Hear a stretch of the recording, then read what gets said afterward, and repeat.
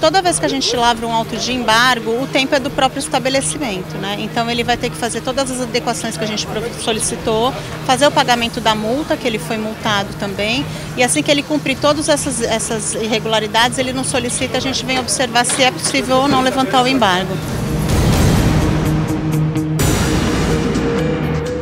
Ao todo foram vistoriados cinco bares, sendo que um deles fechado e dois é, bares, os proprietários foram encaminhados à delegacia para serem autuados pelo crime contra a saúde pública. Acho muito válido, muito interessante e essencial, né? Nos dias de hoje a gente fica preocupado, a gente consome fora, não sabe a qualidade das coisas, né? Então acho que é super interessante.